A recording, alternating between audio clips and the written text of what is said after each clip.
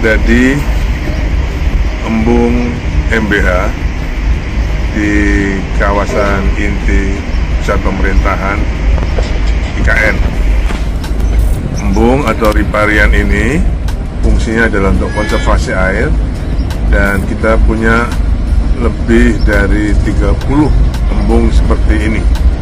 Mudah-mudahan nanti bisa uh, mempengaruhi microclimate di kawasan IKN ini karena akan kita terus mengupayakan dapat membangun uh, riparian-riparian yang seperti ini itu mencapai 60 unit. Kita lihat di sini kalau sore bisa buat duduk-duduk, ya, bisa buat kongko-kongko. Nah, lagi di sini nih kita juga bisa melihat Garuda dan juga Istana Negara IKN. Juga kantor-kantor Kemenko yang sudah akan jadi dalam waktu yang uh, singkat ini.